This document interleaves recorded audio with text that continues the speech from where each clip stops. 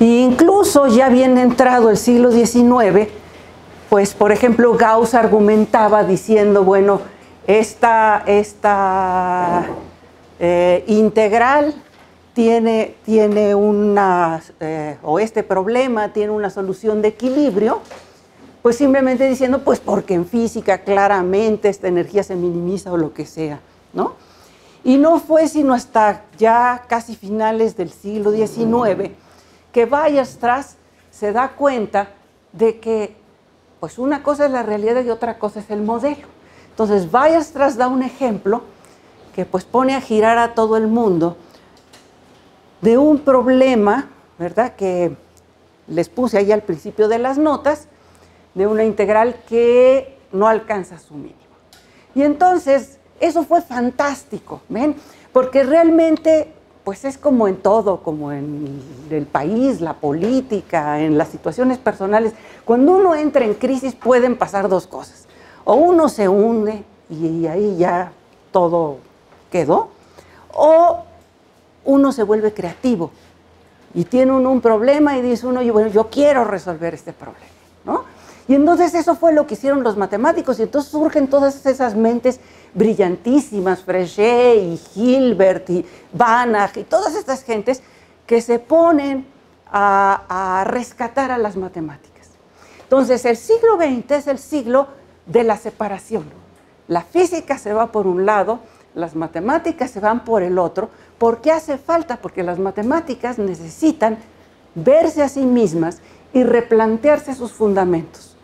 Y entonces cuando las matemáticas se voltean a ver a sí mismas para replantearse, surge esta maravilla que es el análisis matemático, entre otras muchas cosas, ¿verdad? También es la época en la que surge la teoría de invariantes, que después se llama topología algebraica, y en fin. Eh, bueno, el asunto es que ahorita ya estamos en otro momento. El siglo XX fue eso. Y el siglo XXI es como un siglo de síntesis. Entonces, ahorita se trata de que nos hemos dado cuenta de que una cosa son las matemáticas y otra cosa somos los matemáticos. Entonces, los matemáticos tenemos ciertas capacidades o ciertas habilidades como cualquier ser humano. Entonces, hay matemáticos para los cuales es más fácil ver las matemáticas con los ojos, otros para los cuales es ver las matemáticas como sistemas abstractos. Entonces, los matemáticos tenemos unas ciertas aptitudes eh, psicológicas, o no sé cómo decirles, que nos hacen que nos guste más un área de las matemáticas o que tengamos más facilidad para un área de las matemáticas que para otra. Pero el asunto es que las matemáticas son las matemáticas, ¿ven? Entonces, en esta época, se requiere que nosotros los matemáticos sepamos análisis y sepamos geometría y sepamos álgebra y sepamos probabilidad y sepamos modelar y aprendamos un poco de física y en fin. ¿Por qué? Porque los matemáticos ahorita están haciendo cosas sensacionales. Entonces, una de las cosas sensacionales que les recomiendo, se pueden meter al sitio de la American Mathematical Society, y la American Mathematical Society tiene una revista que se llama Notices of the American Mathematical Society. Y el número de septiembre estuvo dedicado a la hispanidad, porque en Estados Unidos fue el mes de la hispanidad. Ahora estamos de moda ya. Y entonces, gracias a Trump, claro. Y entonces, la onda es que hay un artículo ahí hermosísimo de un cuate que usa las ecuaciones diferenciales y los métodos numéricos para resolver problemas de animación. Entonces, por ejemplo, para modelar texturas, que parece ser que es algo muy complicado. O sea, lo que les quiero decir es, los matemáticos actualmente trabajan en Hollywood, trabajan en finanzas, trabajan en donde ustedes quieran. Este es el siglo de las matemáticas. Y para eso, para poder hacer todas esas cosas maravillosas, pues piensen en el software, las computadoras, en fin, lo que ustedes quieran, hay que saber muchas matemáticas, hay que saber de todas. No me puedo quedar yo con decir, ay, no, pues yo soy topólogo de conjuntos y a mí no me saquen de ahí, ¿no? Sino que uno tiene que saber muchas cosas. Pero bueno, aquí, en esta charla, vamos a empezar en el siglo XIX o principios del XX. Y entonces de lo que vamos a hablar es pues de, de algunos problemas que motivaron el desarrollo del análisis matemático, porque finalmente, bueno, pues esta es una escuela de análisis. Y entonces, lo que vamos a ir haciendo es, vamos a plantear un problema, vamos a plantear dos problemas. Hoy vamos a empezar con un problema lineal y bueno, más adelante no sé, vamos a hablar de un problema no lineal y vamos a ver qué tipo de cosas necesitamos para resolver esos problemas.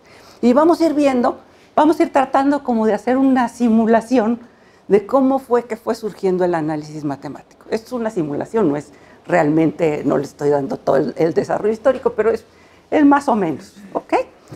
Eh, hay unas notas por allí que creo que les mandaron por email esas notas de una vez les advierto que hay que leerlas al revés, o sea, cada capítulo hay, que empezar de atrás para adelante.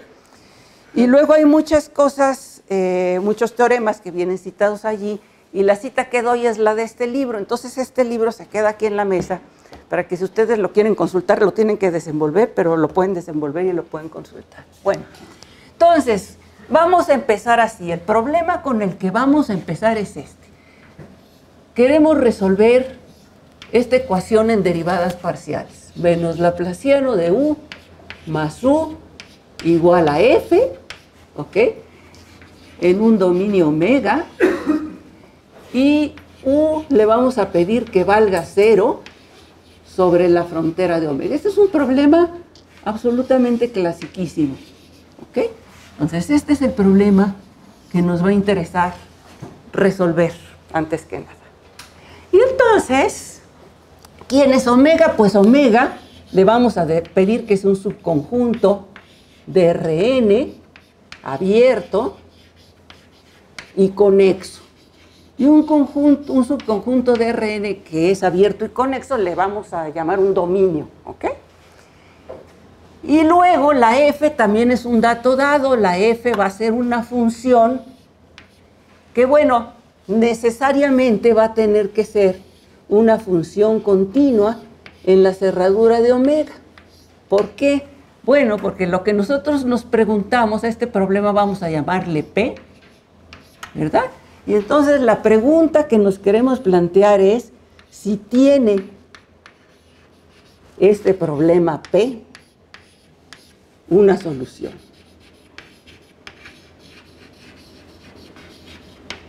Y realmente lo que nos estamos preguntando, y vamos a entender qué estamos diciendo por solución, ¿verdad? Este cuate es el laplaciano. Bueno, ¿quién es el laplaciano? Pues el laplaciano es el operador que a cada u le asocia la suma, la traza del hessiano, ¿verdad? O sea, la segunda parcial de u con respecto a x, y desde i igual 1 hasta eh, n mayúscula. Entonces, esto quiere decir que para que algo sea solución tiene que ser dos veces diferenciable, ¿verdad? Entonces, eh, vamos a decir que U es solución de P. El problema, pues si U es una función de clase C2, o sea que tiene derivadas hasta de orden 2, derivadas parciales hasta de orden 2, y estas son continuas todas hasta la frontera de omega. Entonces, si U es una función de clase C2 en la cerradura de omega y satisface, pues satisface lo que dice P, ¿verdad? Es decir, satisface que menos el laplaciano de U en cada punto x de omega más u de x es igual a f de x para toda x en omega y que u de x es igual a cero si x está en la frontera de omega. ¿Sí está claro?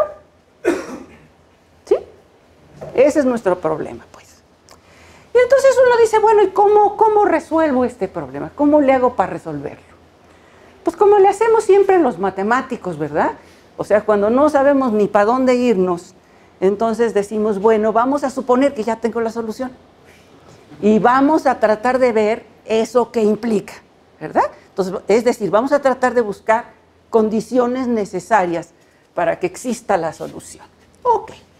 Bueno, Noten que, por cierto, bueno, si, si, a la U le estoy pidiendo que sea de clase C2, pues necesariamente el laplaciano va a ser continuo, la U es continua y por lo tanto la F tiene que ser continua a fuerzas. O sea, esto no es pedir una cosa rara, sino es algo necesario para que exista la solución. ¿De acuerdo? Bueno, entonces, ¿qué vamos a hacer? Bueno, vamos a suponer, entonces, si existe,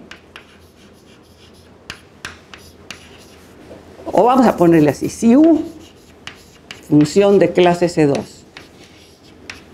es solución de P, entonces, ¿qué podemos decir? Bueno, entonces lo que sabemos en primer lugar, en primera instancia, es que U satisface esta ecuación.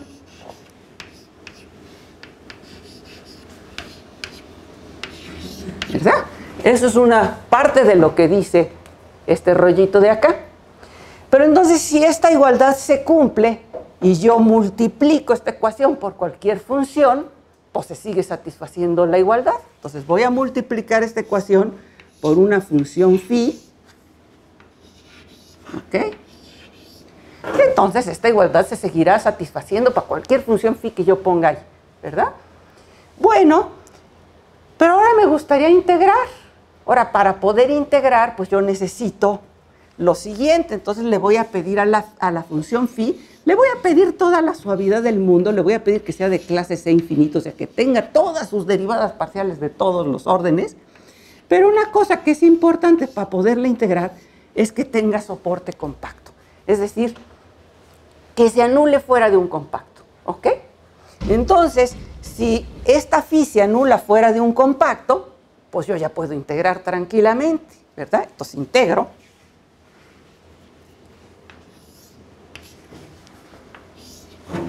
sobre omega, ¿verdad? estoy integrando una función continua que se anula fuera de un compacto, en todos los casos, pues esto, esto está muy bien, ¿verdad? Entonces, lo que tengo es que si U es solución, esta identidad se cumple para cualquier función phi de clase C infinito con soporte compacto. ¿Sí? Así denoto a las funciones que se anulan fuera de un compacto contenido en omega, un subconjunto compacto de omega. Bueno, entonces hasta aquí vamos muy bien. Ahora, fíjense, cuando uno ve esto, a uno se le antoja pensar, bueno, no sé si a todos se les antoja pensar, a mí sí, en la fórmula de Green, ¿verdad? Uno dice aquí, pues en lugar de poner el laplaciano que necesito dos derivadas, que es demasiado, pues vamos a usar la fórmula de Green. Entonces, esta, esta identidad que tengo escrita aquí, si yo aplico la fórmula de Green, vamos a ponerle un nombre a esta, le vamos a poner 1. Entonces resulta que 1 se cumple si y solo si se cumple 2, donde 2 va a ser, pues aplico la fórmula de Green. Entonces me queda que el gradiente de phi, el gradiente de u punto, el gradiente de phi, más la integral de u por phi es igual a la integral de f por phi. ¿Sale? Esto para toda phi de clase C infinito con soporte compacto en omega. ¿Sale? Bueno, esta ya se ve más linda porque, porque ya no necesito derivadas de segundo orden, ya nomás necesito una función que tenga derivadas de primer orden. Entonces está, más linda esta, esta condición de aquí. Entonces, una condición necesaria para la existencia de mi solución, pues es esta. ¿Ok? Bueno. Y ahora miramos esa. La miramos hace un buen rato, ¿no? Y nos estamos ahí embobados viendo esa identidad. Y entonces fíjense que después de quedarnos mirando esa identidad un buen rato, nos vamos a dar cuenta de lo siguiente.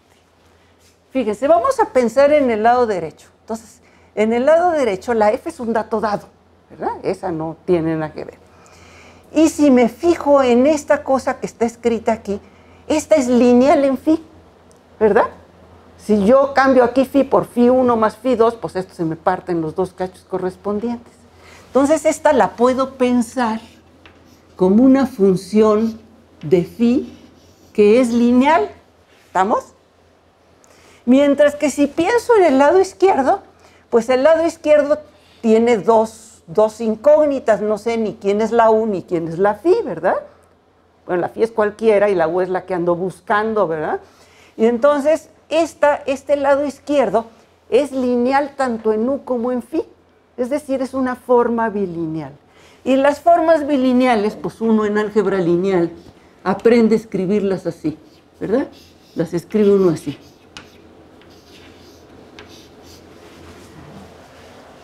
Y esta forma bilineal pues es simétrica, claramente, ¿verdad? Y pues también es positiva definida, ¿verdad? Porque si aquí yo en lugar de poner phi pusiese u, me queda la integral de u cuadrada, que es una función positiva, si, es, si este lado es cero, ¿verdad? Pues entonces en particular la integral de u cuadrada es cero, y pues entonces u tiene que ser cero. Entonces esta es una forma bilineal, simétrica y positiva definida, pues es un producto escalar, ¿verdad?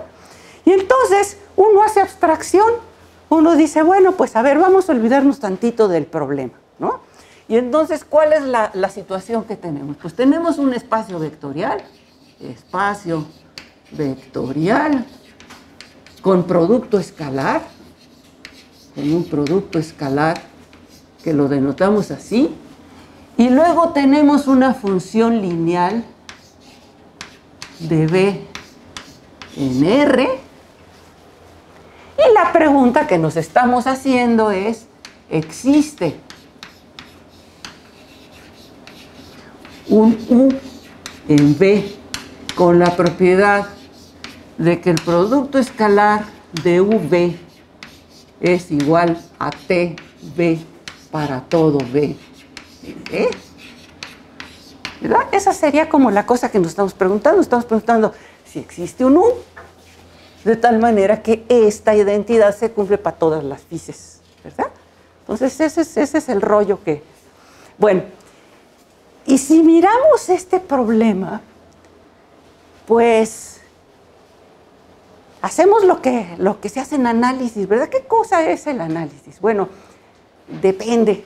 El análisis es, me van a matar los analistas, pero bueno, el análisis es o bien álgebra lineal a lo bestia o bien es cálculo a lo bestia. ¿sí? En este caso tenemos un problema lineal. Entonces, este es, el análisis es, es álgebra lineal a lo bestia. Y entonces el álgebra lineal que uno está acostumbrado a hacer, o que uno empieza a hacer en, un principio, pues es en Rn, ¿verdad? Si, si B fuera Rn con su producto escalar usual, el producto punto, ¿ok? Entonces, ¿cuál sería la pregunta aquí? La pregunta es si existe un U con la propiedad de que U punto X es igual a TX para todo X en Rn. O sea, si existe un U en Rn, ¿verdad? De tal manera que su producto punto con X me da la función lineal. Ahora lo que aprendemos en álgebra lineal es que cualquier función lineal la podemos escribir como una matriz, ¿verdad? ¿Sí? Pero fíjense, esta función lineal, ¿verdad? Mi t ahora es una función de Rn en R, o sea, es una función, o sea, la matriz que le toca, pues sería una matriz de n por 1, y una matriz de n por 1, pues no es más que un vector.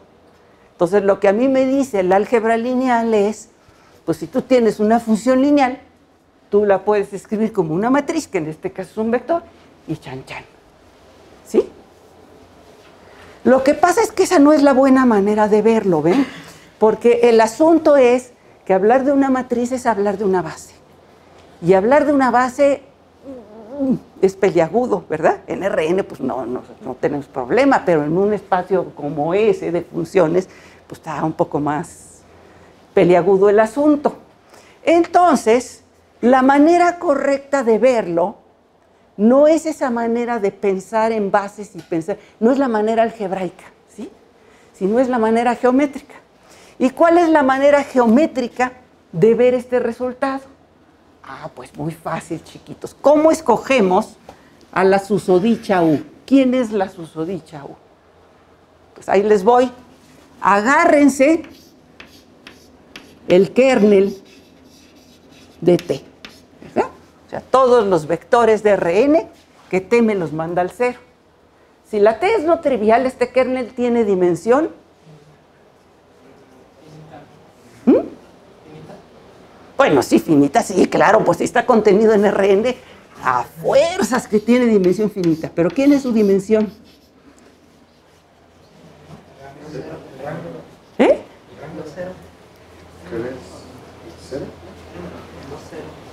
A ver, si ustedes tienen una función lineal, ¿ok? Entonces tengo mi espacio vectorial que es Rn, ¿ok? Eso quería que me dijeran, ¿verdad? La dimensión de este cuate. Acuérdense que si yo pongo aquí el kernel, ¿verdad? Que es K, entonces la dimensión del espacio es la dimensión del kernel más la dimensión de la imagen. Si la imagen tiene dimensión 1, pues este susodicho kernel tiene dimensión n-1. ¿Estamos de acuerdo? ¿Sí? Entonces, la gracia es que yo puedo escribir a Rn, ¿verdad? Entonces tengo Rn, aquí tengo a mi kernel que tiene dimensión n-1, y luego, pues aquí tengo al complemento ortogonal, y el complemento ortogonal tiene dimensión 1, ¿verdad? Es la dimensión complementaria. Entonces, ¿cómo escojo a este cuate? Pues me escojo primero un vector unitario en el kernel, los escojo E, digo, en el, en el complemento ortogonal al kernel, lo tomo de norma 1, ¿estamos de acuerdo? Y luego, tarea. Tarea es una tarea de un renglón, ¿eh? Este, si yo defino U como T de E, que esto es un número, es un número real, multiplicado por E, esa es la que me funciona. ¿Ok? Entonces, esto fíjense que ya tiene más chance de poder ser generalizado, ¿verdad? Porque uno dice, bueno, pues yo siempre puedo hablar del kernel. ¿Quién es el kernel? Pues es el conjunto de todos los de aquí que T me los manda al cero, ¿cierto? Y pues habría que ver si es cierto esta descomposición de un espacio con su ortogonal. Y allí es donde entra la fineza del análisis. Entonces, si uno se pone a analizar, uno se da cuenta de que no es cierto, no es cierto que en cualquier espacio, cualquier subespacio tenga un complemento ortogonal en este sentido. Entonces, déjenme ponerles un ejemplo. Entonces, vamos a pensar, por ejemplo, en el espacio L2 de las funciones cuadrado integrables. Entonces, este es el conjunto. A ver, vamos a ponerlo aquí abajo. L2 de omega es el conjunto de todas las funciones medibles, U de omega los reales, que tienen la propiedad de que su cuadrado es integrable. ¿Verdad? ¿Y cuál es la norma que le voy a dar a este espacio? o el producto escalar, pues el producto escalar de u con b, pues es simplemente la integral de u por b. ¿Sale? Bueno, en este espacio están contenidas todas las funciones de clases infinito con soporte compacto. ¿Ok? Entonces, mi pregunta es si este espacio yo lo puedo escribir como este más su complemento ortogonal. Pero si nos fijamos en quién es el complemento ortogonal de este cuate, ¿qué quiere decir que una función phi esté aquí en el, en o bueno, vamos a llamarla u mejor, vamos a llamarla u? ¿Qué quiere decir que u esté en el complemento ortogonal? Pues quiere decir que la integral de u por phi, o sea, el producto escalar, es igual a cero para toda phi de clases de infinito con soporte compacto. ¿Estamos de acuerdo? Pero si esto es cierto, fíjense que este conjunto es denso en L2. Entonces yo puedo aproximar a U tanto como yo quiera por funciones de estas. De tal manera que si esto se cumple, pues esto implica que U tiene que ser igual a C casi donde quiera. ¿Verdad? Que aquí en L2 pues las funciones son casi donde quiera. Y entonces, ¿esto qué me está diciendo? Me está diciendo pues tu complemento ortogonal es el puritito cero. Y mentira que yo puedo escribir a L2 como la suma de este más cero, ¿verdad? Porque L2 no es este, ¿verdad? Entonces, uno tiene que tener cuidado. Esto lo que me dice es, fíjate, en un espacio tan lindo como L2, no es cierto que cualquier su, espacio vectorial tenga un complemento ortogonal, en el sentido de que no es cierto que L2 se puede escribir como este cuate más su complemento ortogonal, porque su complemento ortogonal es cero. ¿Estamos? ¿Sí? ¿Sí o no? Díganme algo. Sí, sí, gracias. Bueno, ok. Entonces, ahí viene, ahí viene la cosa linda. Entonces, déjenme borrar aquí un poquito. Esto era como motivación, pero ahora vamos a empezar a hacer un poco de análisis. Entonces, el problema va a estar de aquel lado y el análisis va a ir de derecha a izquierda y lo vamos a ir poniendo por aquí. ¿Ok? Entonces, pues resulta que, primera cosa, una cosa que es bien importantísima no es nada más tener un espacio vectorial con un producto escalar, sino que necesitamos que sea completo con la norma inducida, que eso sí lo es L2, ¿verdad? Entonces, la definición pues es un espacio de Hilbert, ¿verdad? Un espacio de Hilbert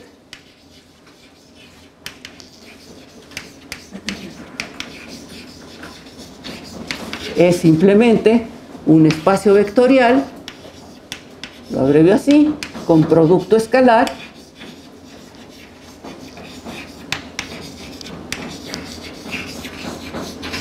que es completo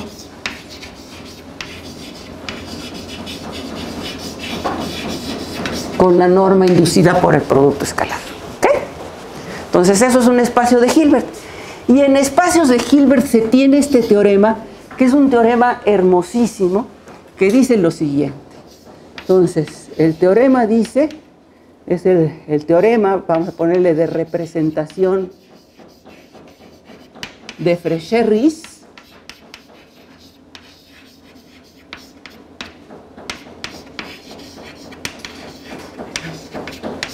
que dice lo siguiente. Dice que si H es un espacio de Hilbert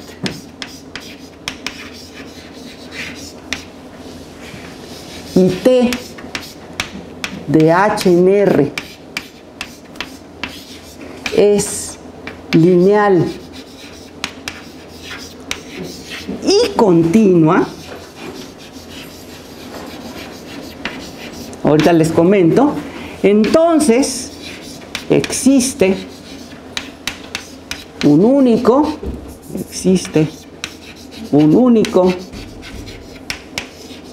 vector U en H con la propiedad de que el producto escalar de U con V es igual a TB para todo H. Pues ese es justo el teorema que necesitamos. ¿Mm?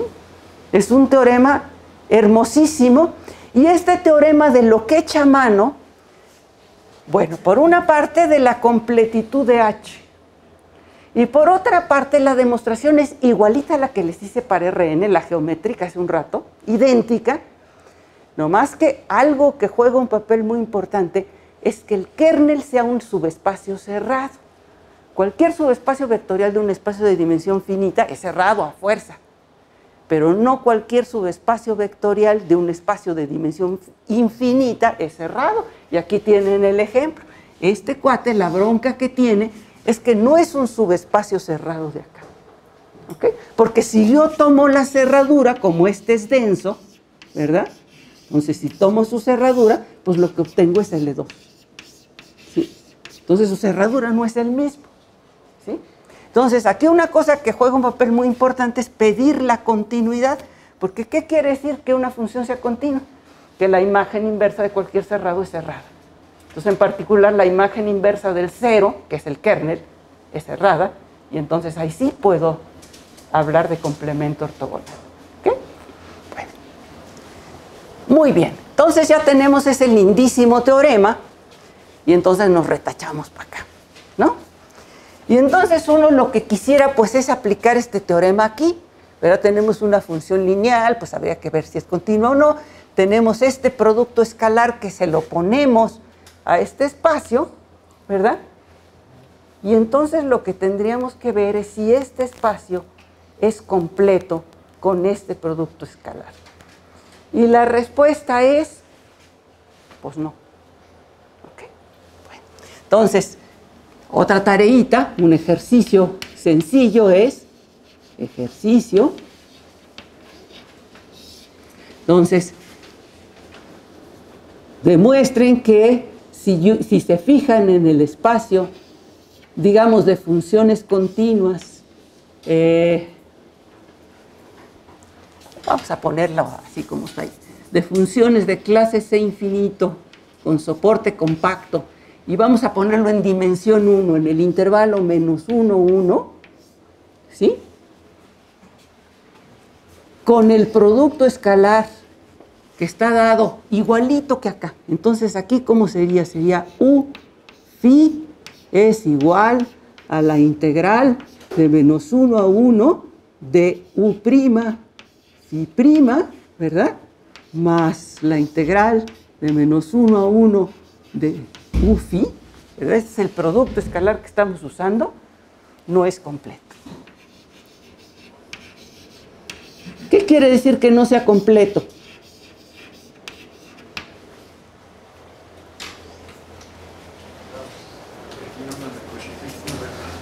Que hay sucesiones de Cauchy que no convergen, ¿verdad?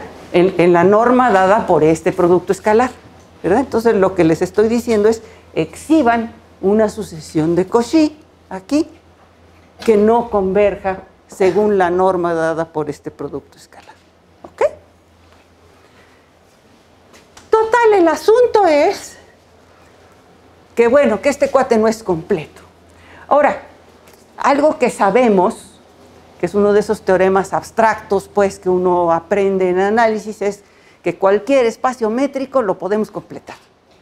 ¿Verdad? No sé si ustedes ya vieron ese teorema, si no lo han visto, pues se lo saben por los reales, ¿verdad? Porque los reales, ¿qué cosas son? La completación de los racionales, ¿verdad? Entonces uno agarra los racionales y los completa. Y efectivamente uno puede seguir un procedimiento análogo para completar a cualquier espacio métrico. ¿Y cómo se completa un espacio métrico? Bueno, pues hay una forma muy barroca de hacerlo que es, uno se toma clases de equivalencia de sucesiones de Cauchy, ¿no? Y esos van a ser los elementos del nuevo espacio métrico. Pero imagínense que nosotros, cuando trabajamos con los reales, estuviéramos pensando que un número real es una clase de equivalencia de una sucesión de Cauchy de números racionales, pues no, no, le hacemos así, ¿verdad? Entonces, igualmente aquí, pues yo podría decir, ok, entonces me agarro este cuate, lo completo, ¿verdad? Y aplico el teorema aquel. Eso está muy bien, nada más que yo realmente no quiero resolver este problema, el que quiero resolver es este, ¿verdad? Entonces, si no sé, si aquí lo que me sale es una clase de equivalencia de quién sabe qué, pues no sé qué estoy haciendo, ¿verdad? Entonces, lo que tenemos que hacer ahora es describir ¿Cómo se ve la completación de este espacio? ¿Quién es la completación de este espacio? ¿Ok? Entonces, lo que quiero hacer es construir un espacio de Hilbert, un espacio completo, que contenga a este cuate, al espacio de las funciones continuas, de las funciones de clase C infinito con soporte compacto, de hecho como subconjunto denso. Entonces, si nosotros nos quedamos nada más con este cacho del producto escalar, con el que está dado por esta integral, ¿verdad? Pues ahí como que la completación es L2, ¿verdad? bueno, no como que la completación sería L2, ¿verdad? Pero también tengo que tomar en cuenta este cacho. Y la bronca de este cacho es que si yo tengo una función en L2, pues ¿quién diablos es su derivada? Pues quién sabe, ¿verdad? Entonces me tengo que inventar una noción de derivada que sea buena onda, que funcione bien. Bueno, entonces, pues eso ya está más difícil que se nos ocurra aquí nomás mirando un rato. Pero, pues hubieron muchas cabezas lúcidas que sí le dedicaron más tiempo. Y bueno, el asunto es así. Entonces, vamos a Vamos primero a, dar un poquito de notación, entonces le vamos a llamar L1 log de omega. Este va a ser el espacio de todas las funciones eh, U de omega los reales que tienen la virtud de que cuando las restrinjo a un subconjunto, a un abierto, eh, cuya abierto acotado cuya cerradura está contenida en omega, resultan ser integrables. Esta cosa es integrable en omega chiquita para todo omega chiquita abierto, acotado, cuya cerradura está contenida en omega. O sea, son las funciones que no son integrables por culpa del dominio, que es muy grandote, pero que si el dominio lo hacemos suficientemente chiquito, si nos quedamos con cachos lindos del dominio, pues ahí sí resulta integrable. Bueno, entonces, no se lo tomen muy a pecho, la definición es esta. Entonces, vamos a tomar una función u que sea localmente integrable, como esta, que vive en este espacio. Y entonces vamos a decir que u es débilmente diferenciable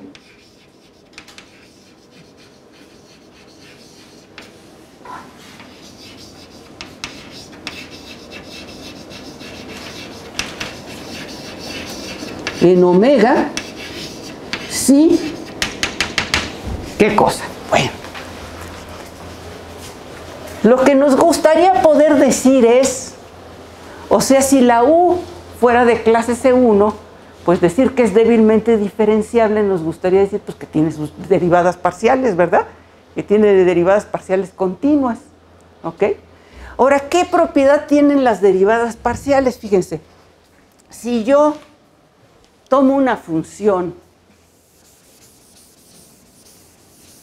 Vamos a hacer aquí un pequeño paréntesis. Entonces me voy a tomar una función u que sea de clase C1 en omega. O sea, que sea continuamente diferenciable en omega. Entonces, ¿qué propiedad tiene? Bueno, tiene una propiedad muy linda que es que vale la fórmula de integración por partes. Entonces, la fórmula de integración por partes nos dice que la integral de u por la parcial de phi con respecto a xi más la parcial de u con respecto a xi por phi, este es igual a cero, ¿ok? Para toda phi de clase, estas son nuestras funciones de prueba, y para toda i igual 1 hasta n mayúscula. ¿Sí? ¿Ok? Esta es la fórmula de integración por partes. Y resulta que cuando uno estudia este tipo de problemas, como van a estar traducidos en términos de integrales, pues a mí nomás como que me interesa lo que hacen las parciales con respecto a las integrales. Y lo que hacen las parciales con respecto a las integrales es esta fórmula de integración por partes. ¿Ok? Entonces vamos a usar este como modelito para nuestra definición de allá. ¿Ok? Bueno, entonces, copiando esa idea, vamos a poner si existen B1 hasta Bn, funciones localmente integrables, con la propiedad de que la integral de u por la parcial de phi con respecto a xi más bi por phi es igual a cero para toda phi de clase C infinito con soporte compacto y para toda i desde 1 hasta i. Es decir, vamos a decir que una función es débilmente diferenciable si existen las parciales entre comillas, estas funciones que van a jugar el papel que están jugando aquí las parciales cuando la función es de clase C1. ¿Sí? ¿Ok? Entonces, ¿qué cosa? Eh, bueno, entonces, esta función BI se suele denotar así, como D y U, y se llama la iésima derivada débil.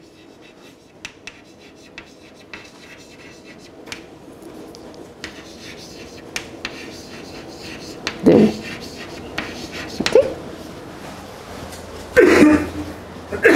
Ya lo definimos así. Total. ¿Quién nos impide hacer eso? ¿No? Y bueno, pues el gradiente débil, que ahí sí, pues la notación que se usa es la misma, pues es el vector cuyas componentes pues son las, las parciales en general, pues aquí van a ser las derivadas débiles. Bueno, es muy sencillito probar que si la derivada débil existe es única, entonces no está mal llamarla la iésima derivada débil porque si existe es única. ¿Ok? Entonces no es mala idea. Y luego, bueno, luego sería bueno un poquito agarrarles el feeling a las derivadas débiles, ¿verdad? Entonces, algo que me está diciendo este ejemplo, ¿verdad? Entonces vamos a ver algunos ejemplos. Ejemplo.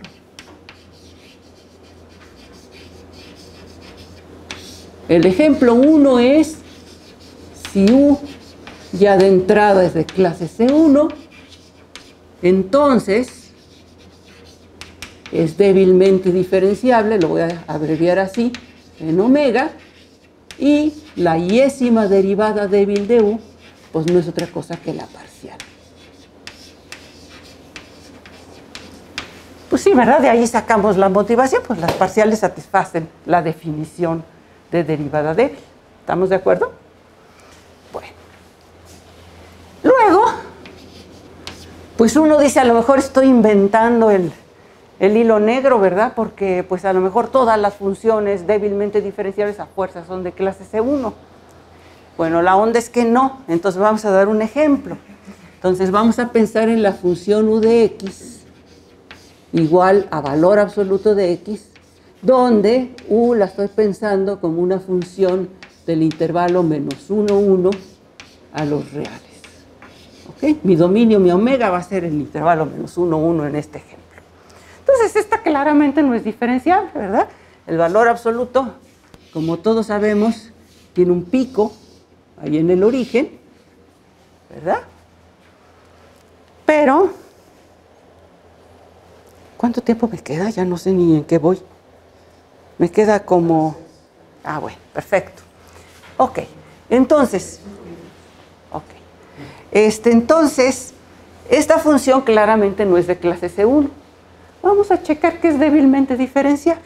Entonces yo digo que esta función es débilmente diferenciable y la derivada débil, bueno, que realmente es la derivada, porque aquí nomás hay una componente, entonces la llamamos así nomás sin el i, es la función que está definida como sigue. b de x va a ser igual a lo siguiente. Fíjense que si yo me olvido de lo que está a la izquierda del cero, pues tengo una función que es diferencial, ¿verdad? Que es la función identidad, y ahí su derivada es 1, ¿verdad? Entonces sería la función que es 1 si x es mayor que 0, y que va a ser menos 1 si x es menor que 0. ¿Ok? Bueno, pues esta nos gusta, ¿verdad? Entonces vamos a checar que, tenemos buen gusto, pues, ¿no? Entonces, ¿qué es lo que tengo que checar? Pues me tengo que agarrar cualquier función de clase C infinito con soporte compacto en el intervalo menos 1, 1 y me tengo que fijar en la integral de u por phi prima más b por phi. ¿Ok? Entre menos 1 y 1 y tengo que checar que eso vale 0. ¿Estamos de acuerdo? ¿Sí? Pero la integral la puedo partir en dos cachitos, ¿verdad? La puedo escribir como la integral de menos 1 a 0 más la integral de 0 a 1, de lo que dice, de lo que está escrito ahí dentro, ¿verdad? Pero si yo me fijo en la integral de menos 1, o digamos, vamos a empezar con la de 0 a 1, ¿ok? La integral de 0 a 1 de lo que está escrito aquí adentro. Bueno, cuando la u es mayor que 0, pues quedamos en que vale x, ¿verdad? Entonces me queda que x por phi prima de x de x más, ahora la b vale 1, entonces más phi, vamos a escribirlo mejor así. ¿Eh? Más phi de x de x. ¿Ok? Esa sería esta integral, ¿verdad? Entonces vamos a checar que esa integral vale 0, ¿verdad? Pero ¿qué, ¿qué, cosa es mi integrando? Pues mi integrando no es otra cosa. La integral de 0 a 1 de x por phi de x prima de x. ¿Verdad? Lo que tengo aquí pues es simplemente la derivada de ese producto, ¿estamos de acuerdo? ¿Verdad? Bueno, entonces, ¿quién es la integral? Pues tengo que evaluar esto en 1 y, lo y le tengo que restar esto evaluado en 0. Ahora, esto evaluado en 0, pues me queda 0 por algo, me da 0. Y esto evaluado en 1, me queda 0 porque la phi tiene soporte en el compacto en el intervalo 0,1. Entonces, la phi fuera de un compacto contenido en el intervalo menos 1, 1 se anula. En particular se anula en los extremos. ¿Ok? Entonces se anula en 1 y en menos 1. ¿Estamos de acuerdo? Y análogamente la otra integral, ¿verdad? La otra es pues igualita. ¿Ok? Entonces, efectivamente, esta es una función eh, que es débilmente diferenciable, pero que no es diferenciable. Y uno dice, bueno, pues a lo mejor ahora todas las funciones son débilmente diferenciables, chance, ¿verdad? Pues no. Y este se los dejo de tarea. La función esta b que definimos aquí no es débilmente diferenciable en el intervalo menos 1.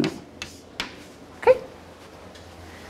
Entonces, este es un concepto que ni coincide, ni coincide con ser C1, ni es absolutamente trivial, sino es como algo entre medio. ¿Ok? Bueno, muy bien. Entonces, ahora sí seguimos. Una vez que ya tenemos una noción de derivada para funciones que son localmente integrables, en particular, este cuate contiene a todos los espacios LP. En particular es muy sencillito ver que contiene a L2. ¿Ok? ¿Sale? Entonces, ahora sí, podemos hacer lo siguiente.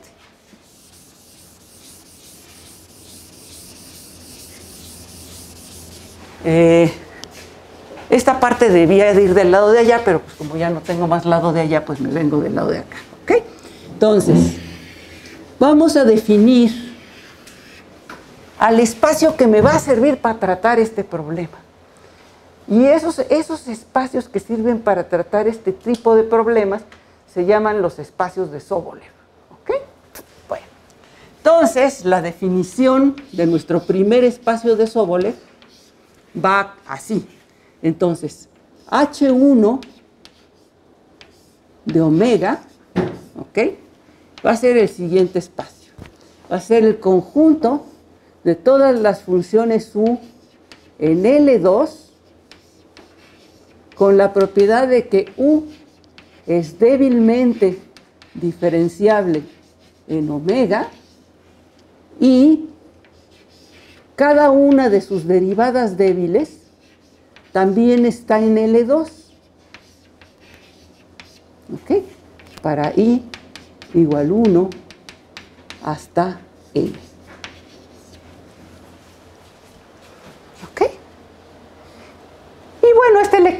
producto escalar. Pues, ¿qué producto escalar le voy a dar? Pues el producto escalar que le voy a dar, pues tiene que ser este, nomás que bien entendido, ¿verdad?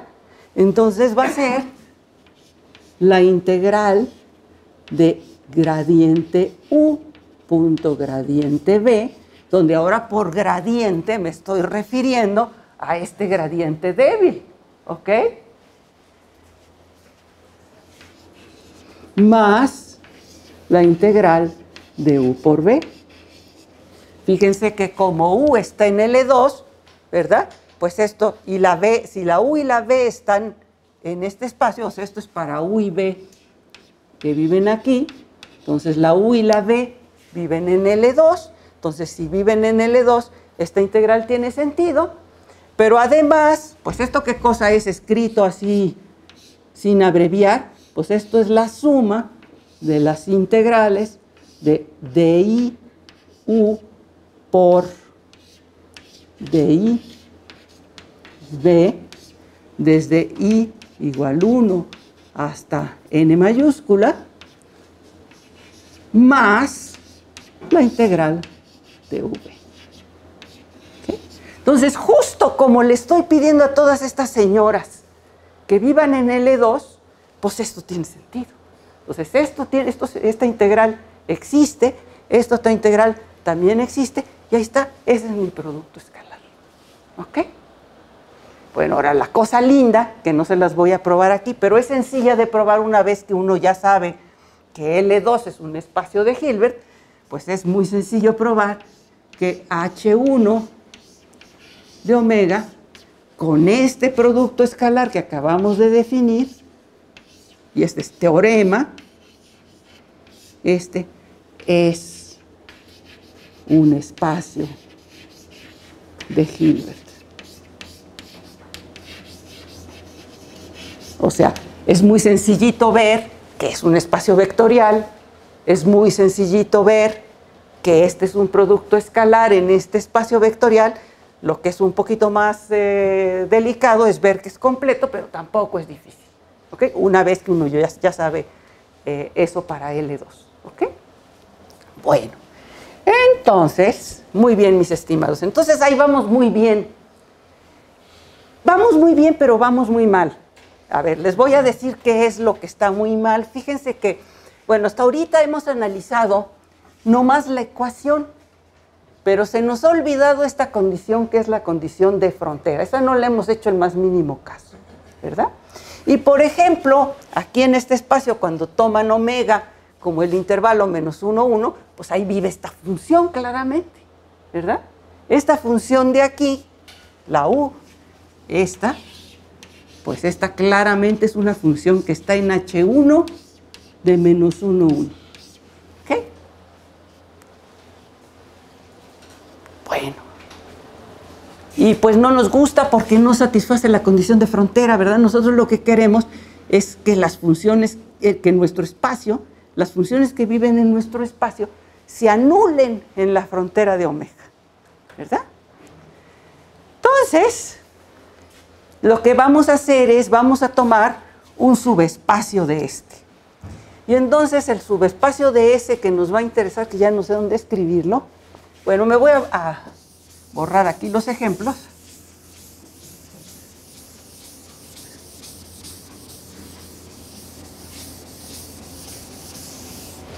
Pues está fácil, ¿verdad? Entonces vamos a definir un nuevo espacio que se va a llamar H01, se le vamos a poner un cerito abajo, y este va a ser simplemente la cerradura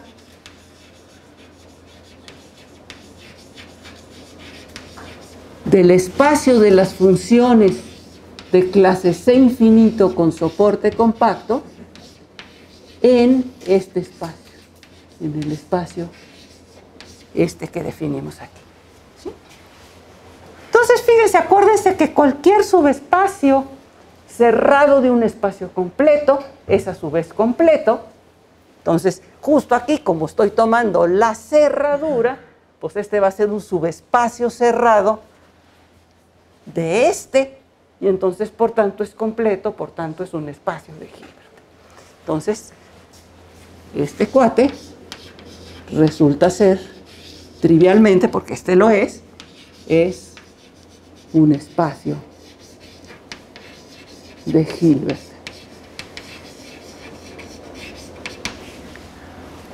Ok. Esto ya se va viendo más lindo, ¿verdad? Ahora, ¿cómo, ¿cómo se nos antoja pensar en este espacio? Fíjense, estamos tomando estas funciones que tienen soporte compacto en omega. Si aquí está omega, y lo que estoy diciendo es que una phi que vive aquí se anula fuera de un compacto que está contenido en omega, omega es abierto. Entonces un compacto pues tiene que estar bien metidito aquí afuera, ¿verdad? Para estar contenido en omega, ¿ok? Porque un compacto siempre es cerrado en Rn, ¿verdad?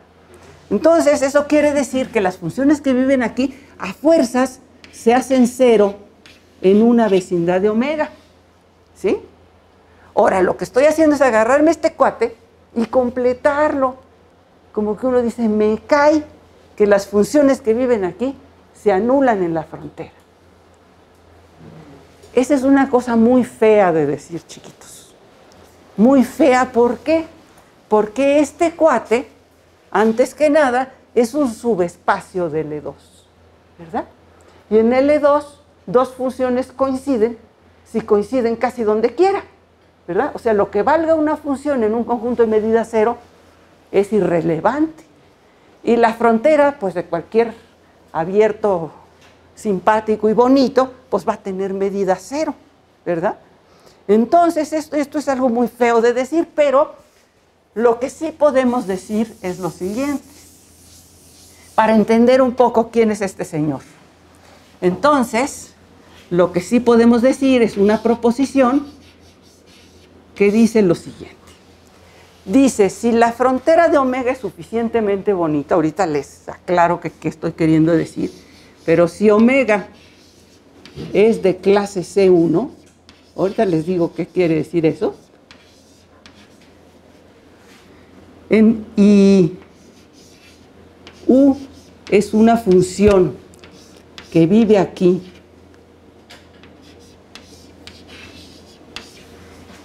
Pero no solo aquí, porque aquí pues hablar de que se anula en la frontera pues es como, como, pues no se puede pues. Pero le voy a pedir que aparte sea una función continua en la cerradura de omega. Ahí sí, ya tiene sentido decir que se anula en la frontera, ¿verdad? Entonces, lo que dice esta proposición es que si esta omega es de clase C1, entonces, y, U vive aquí, ¿ok? Entonces, U es idénticamente cero en la frontera de omega. Entonces, si no nomás nos agarramos una función aquí cualquiera, si no nos agarramos una función que además sea continua, entonces sí va a ser cierto que las funciones, las funciones que viven aquí y que aparte son continuas, sí tienen la virtud esa que nosotros queríamos, que es que se anulan en la frontera. Muy bien. ¿Qué quiere decir que omega es de clase C1? Bueno, déjenme dejarlo tantito pendiente y se los digo más al ratito porque no quiero perder como el hilo del, del rollito que llevamos. Entonces, ahora sí, ya esto se está viendo como que requete bien. Entonces voy a borrar aquí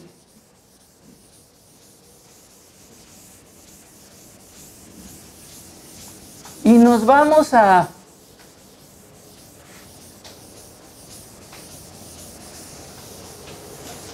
Nos vamos a regresar a nuestro problema.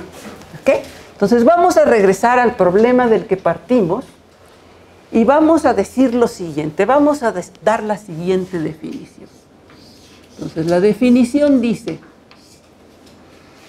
la definición dice que una función U que vive en H01 de omega. ¿Ok? La vamos a llamar es una solución débil.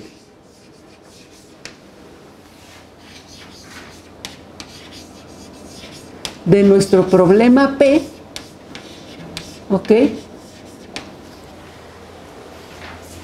Pues ahora sí ya podemos hablar en forma de este rollo, ¿verdad? Entonces sí, la integral de gradiente de U en el sentido débil, punto, gradiente phi, más la integral de U phi es igual a la integral de F phi para toda phi de clase C infinito con soporte compacto en omega.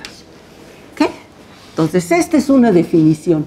Y lo que probamos muy al principio, ¿verdad? Lo que probamos, entonces, para contrastar las soluciones de Adebis, que son estas, se le suele llamar una solución clásica, por razones obvias. Entonces, lo que probamos aquí al principio de la charla es que cualquier solución clásica es una solución débil. ¿sí? Y entonces uno lo primero que se puede preguntar es, ¿existirá una solución débil? ¿Verdad? Porque es una condición necesaria para que exista una clásica, pues es que exista una débil, porque todas las clásicas son débiles. Entonces, lo primero que nos vamos a preguntar es, ¿tendrá nuestro problema una solución débil? Y ahora sí la cosa está bien padre, ¿verdad? Porque entonces tenemos el siguiente teorema que dice que nuestro problema P, o sea, vamos a poner los datos, si F, eh, bueno, aquí necesitamos para poder integrar aquí, necesitamos F, le vamos a pedir nomás que, que viva en L2, es suficiente, ¿ok? Entonces, si F es una función en L2 de omega. Entonces, nuestro problema P tiene una única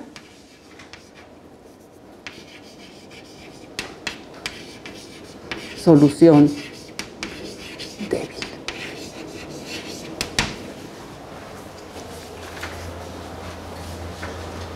Y ahora sí ya tenemos toda la mesa puesta para probar este resultado, ¿verdad? Demostración. ¿Qué es lo que tengo que probar? Pues lo que tengo que probar es que existe una única U en H1, H10, con la propiedad de que U multiplicada por phi, producto escalar, es igual a T veces phi, donde esta T de phi es justamente la integral de f por phi. Entonces, esto es lo que yo quiero probar. Pues ya casi, casi lo tengo porque ahora sí, este espacio ya sabemos que es un espacio de Hilbert. Esta expresión, pues es justo su producto escalar, ¿verdad? Entonces, ¿qué nos hace falta checar? Pues nos hace falta checar que esta T es lineal y continua. Ahora, que es lineal está clarísimo. Vamos a checar que es continuo, ¿verdad? Ok, entonces, vamos a empezar checando eso. Borro porque si no, no me cabe, ¿ok? Entonces, voy a definir entonces T de H01 de omega a R la defino como T de B igual a la integral de F por B. Esta integral tiene sentido si F está en L2, porque la B automáticamente por vivir aquí está en L2. ¿okay? Entonces esta integral está, está bien. ¿Okay? Entonces voy a... Esta función, entonces ya quedamos que T es lineal, eso no es problema, es obvio. Y ahora queremos probar que es continua. Bueno, si tengo una función lineal, basta checar que es continua en cero. Entonces me tengo que fijar en T de B, me tengo que fijar en el valor absoluto de esto, pero ¿qué cosa es T de B? Ah, pues T de B es esta integral. Entonces me tengo que fijar en el valor absoluto de la integral esta. Pero el valor absoluto de la integral es menor o igual que la integral del valor absoluto. Entonces le escribo así. Y ahora aquí usamos la desigualdad de Cauchy-Schwarz, o la de Helder para P igual a 2, la que les guste, que es la misma, ¿verdad? Y entonces esto es menor o igual que la norma de F en L2 de omega por la norma de B en L2 de omega, ¿verdad? Estoy usando la desigualdad de Cauchy-Schwarz en L2 de omega, ¿ok? Pero ahora fíjense, esta es una constante, porque este es un dato, ¿verdad? Esto, esto no, no es una variable, es una constante. Vamos a llamar C, para que nos quede bien claro que es una constante. Y luego, fíjense, si yo me fijo en este producto escalar, pues ¿cuál es la norma?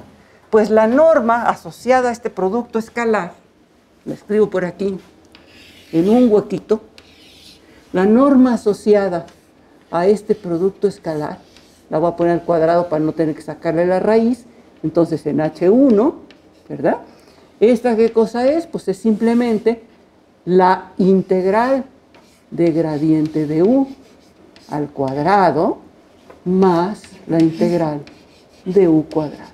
Y esta no es otra cosa que la norma de U al cuadrado en el de 2. Entonces esta norma de aquí siempre es mayor o igual que la norma en L2. E Entonces esto es menor o igual que una constante por la norma de B en H1 de omega o H10, como quieran, da igual. ¿Ok? Y eso ya me dice que mi función es continua.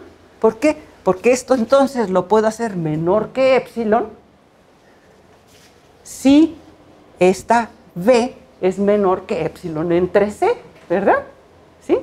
Entonces esto ya lo que me está diciendo es, por lo tanto, T es continuo. Y entonces ya acabé, porque este teorema, ¿qué me dice? Si tengo un espacio de Hilbert y tengo una función que es lineal y continua, entonces, ¿verdad? Por el teorema de representación, lo que tenemos es que, por lo tanto, existe un único U en H01 de omega con la propiedad de que U, B es igual a TB para toda B de clase, eh, para toda B, de hecho en H01 de omega en particular para aquellas que son de clases a infinito con soporte compacto, ¿verdad? ¿Sí? ¿Qué es lo que me pide esta condición de acá? ¿Verdad? Entonces, ¿qué es lo que acabo de probar? Que efectivamente existe una única U de tal manera que esto se cumple no solo para todas las FIS aquí, sino para todas las, las que viven acá. ¿Estamos? Entonces, Quiero que respiremos profundo, porque esto es una belleza. ¿Se fijan? Esto es una belleza. Acabamos de usar un teorema que se ve requete abstractísimo de análisis para probar la existencia y unicidad de una solución de esta ecuación diferencial. Órale, ¿verdad? Claro, en el sentido débil, ahorita vemos que podemos obtener una de estas, ¿verdad? Pero sí quiero que nos detengamos a, admirar la belleza de este resultado, porque de veras es una cosa muy linda. Y esta es como la magia del análisis, ¿se fijan? Esta es la magia del análisis. Nosotros, a veces cuando llevamos un curso de análisis, chúmbatelas, nos echan un montón de teoremas abstractos encima que uno ya no sabe ni para dónde hacerse. Pero todos esos teoremas abstractos tienen un origen y tienen un origen histórico. Este es un problema que viene de la física. Muchos modelos en física se ven así, pues, ¿no? Y entonces, la gracia es, les digo, antes, en el siglo XIX, decían, ah, no, pues como se minimiza la energía o quién sabe qué, entonces existe la solución. Pero matemáticamente nosotros tenemos que justificar que existe la solución. Y hasta aquí no hemos probado que existe la solución. Hemos probado que existe la solución débil. ¿Verdad? Existe la solución débil. ¿Estamos de acuerdo? Todavía nos falta dar el siguiente paso, que es probar que esa solución débil es una solución de verdad. A ver, tengo tiempo, ay, qué padre. A ver, entonces le seguimos, pues, ¿no? Eh, ya no sé dónde borrar, pero yo creo que aquí. Entonces, ¿cómo recuperamos? Muy bien, entonces, fíjense que, claro, esta solución débil, como es única, pues o bien es la clásica o bien ya nos fastidiamos, ¿verdad? Que no hay de otra, ¿verdad? Esta tiene que ser. Bueno, entonces, fíjense que uno tiene el siguiente resultado que es muy lindo.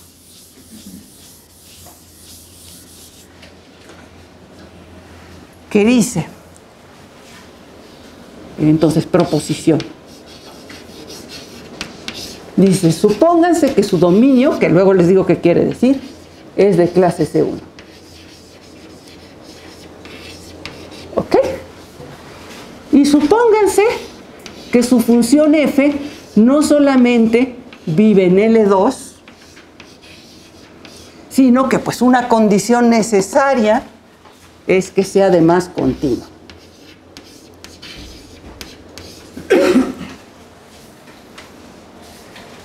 Entonces podemos afirmar lo siguiente. Entonces sabemos que existe una solución débil, eso ya está, ¿verdad? Entonces, si la solución débil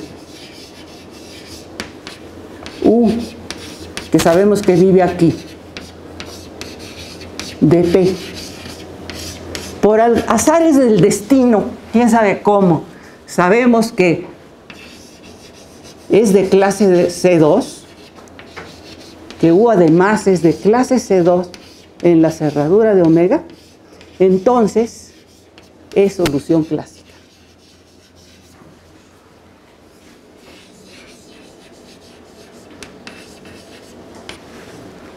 ¿Por qué?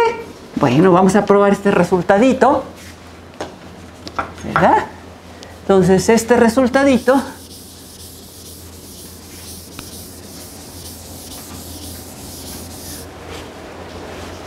va a la demostración.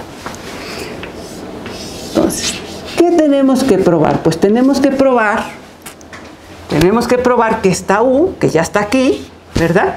Satisface estas dos cosas. ¿Ok? Bueno, primera cosa, como U es de clase C2 y además vive aquí, y nuestro dominio es de clase C1, ya sabemos que se anula sobre omega. Esta proposición que les digo que es delicadilla de probar, pero es cierta, ya nos dice que U vale cero en la frontera.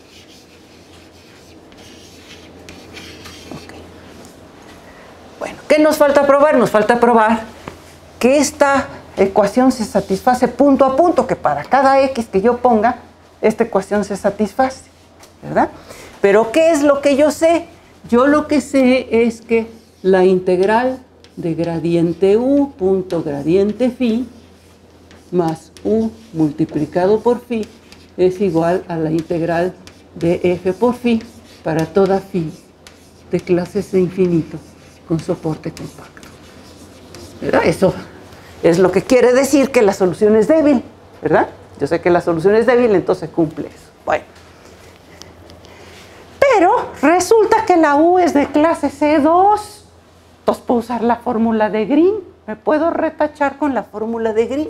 Entonces, ¿esto qué me dice? Que en lugar de escribir esto así, puedo escribir menos Laplaciano de U multiplicado por phi.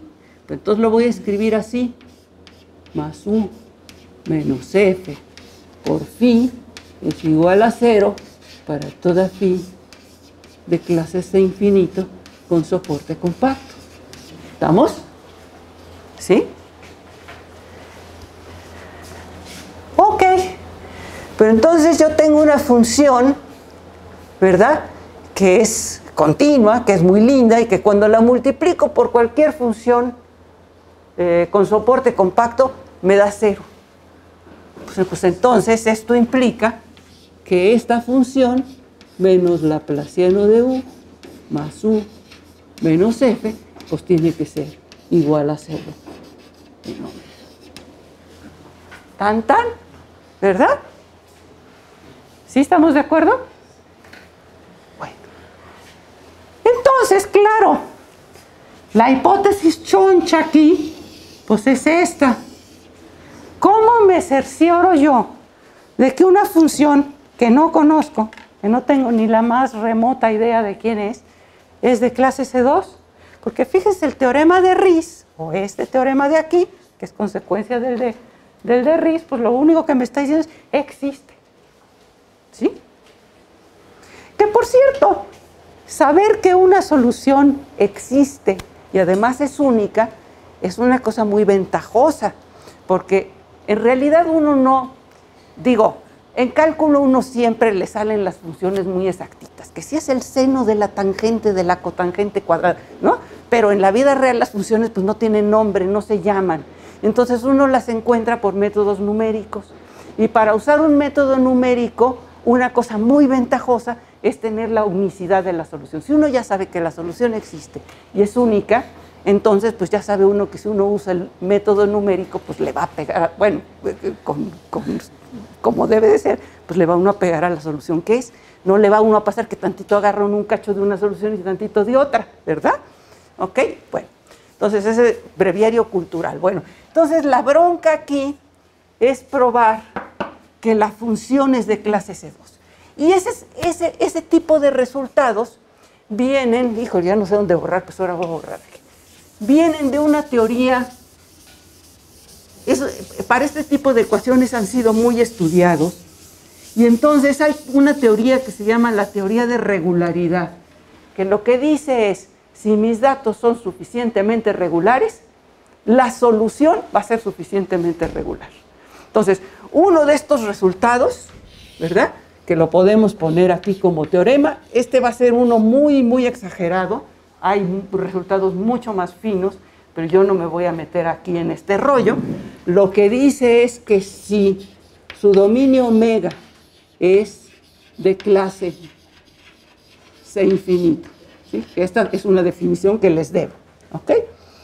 F es una función que también es de clase, bueno, le vamos a poner es acotado para ahorrarnos cosas, acotado de clase C infinito, F es una función de clase C infinito en la cerradura de omega y U es solución débil, débil del problema P, entonces U es una función de clase C infinito en la cerradura de omega. ¿Sí? Entonces, este, este, teorema les dice un poco del espíritu de este tipo de resultados. Si los datos, ¿quiénes son los datos de nuestro problema? Pues los únicos datos de nuestro problema son el dominio y la función f. Bueno, si esos datos son suficientemente regulares, automáticamente la solución va a ser suficientemente regular. Y entonces, si esto es cierto, pues ya tengo esta condición de aquí. Entonces, de esa manera, Basta con que nosotros encontremos una solución débil, apliquemos resultados de regularidad y obtenemos así una solución de verdad, de carne y hueso, una solución clásica. Entonces, a lo que uno se dedica cuando uno trabaja en métodos variacionales es a encontrar soluciones débiles. Entonces, bueno. Eh, ¿Qué cosa, ya en los últimos minutitos que me quedan, qué cosa quiere decir que un dominio sea de clase seca?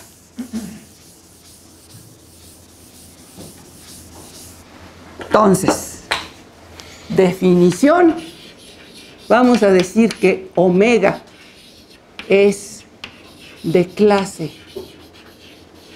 seca si para todo punto x0 en la frontera de omega existe, existe un abierto U de Rn que contiene a dicho punto.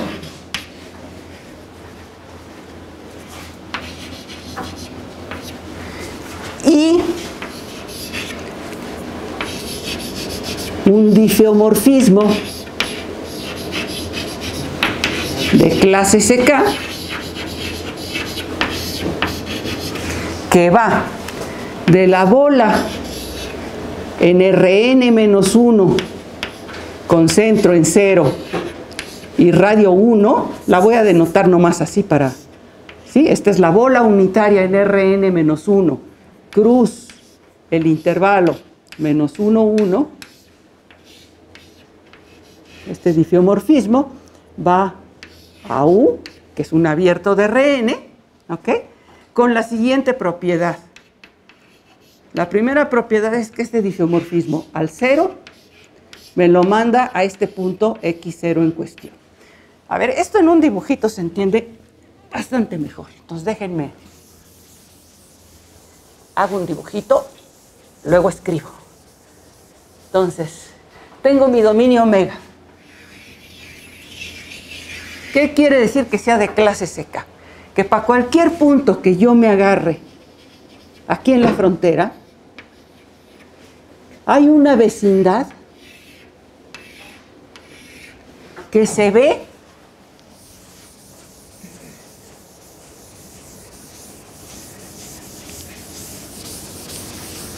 como el producto de una bola de dimensión n-1 o sea, este es R, N menos 1, este es R, entonces se ve como el producto de la bola unitaria en Rn menos 1 multiplicada por el intervalo menos 1, 1, ¿ok? De tal manera que el 0 corresponde a este punto de acá la bola multiplicada por cero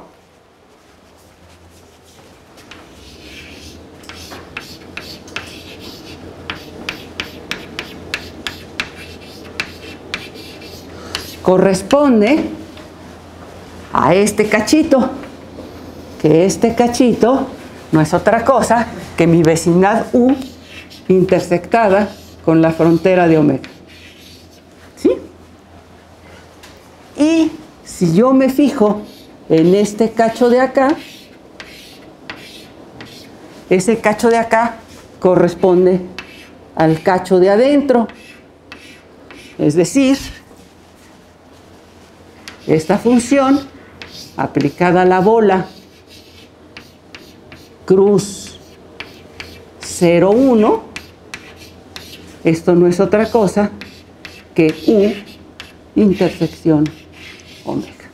O sea, lo que es importante es que esta función queremos que sea de clase CK, o sea, que tenga derivadas hasta de orden K, ¿ok? Continuas, y de retache también, ¿ok? Y lo que queremos es, entonces, lo que estamos diciendo es que hasta clase CK, cada punto de la frontera se ve así. ¿Ok? Tarea. Agárrense el cuadrado en R2. ¿Sí? El cuadrado, este es el, el ¿qué? El 1, el menos 1, 1, cruz, menos 1, 1. ¿De qué clase es ese cuate? ¿Sí? Para entender un concepto en matemáticas, digo, hay que, hay que saber cuál es la definición, pero para realmente entenderlo como uno entiende que no es con la cabeza, sino con el estómago, pues uno necesita ponerse ejemplos. Entonces vale la pena que piensen, que hoy en la noche sueñen con el cuadradito ese y vean de qué clase es. Bueno, yo creo que aquí le paramos porque ya ustedes han de estar exhaustos y yo también. ¿Preguntas?